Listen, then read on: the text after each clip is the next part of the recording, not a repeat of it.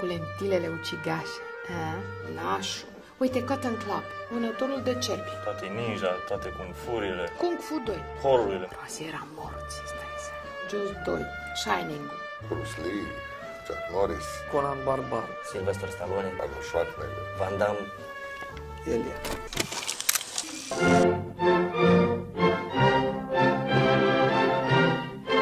Anii 80 au însemnat uh, Cât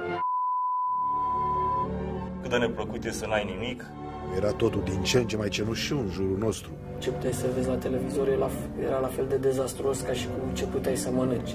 Capitalismul în România a pus pentru întotdeauna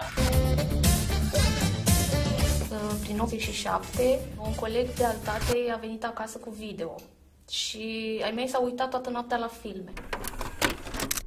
You talking to me? Cu mine vorbești? You talking to me?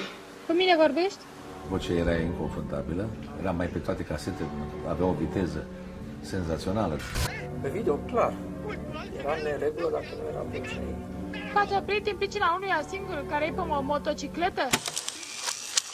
Era 5 noiembrie 1985. Din televiziune, un domn care era colonel la pompieri a venit și m-a întrebat dacă nu vreau să merg cu el la cineva care ar traduce casete. Domnul Zanfir la care am ajuns era f- extrem de elegant, așa din cap până în picioare. Știu că asta m-a impresionat, că erau pantofii foarte lustruiți, așa, dar a- m-a și intimidat ușor.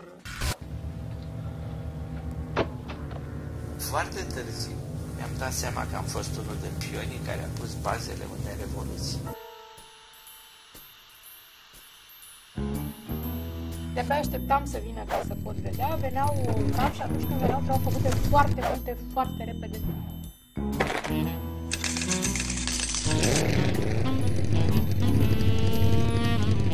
Era un mijloc de evadare. era o viață ce se întâmpla acolo. Era o gură bună de oxigen și de a simți Într-un moment de dictatură unde se controlează tot, se scapă de sub control ceva care pare neînsemnat. Caseta video.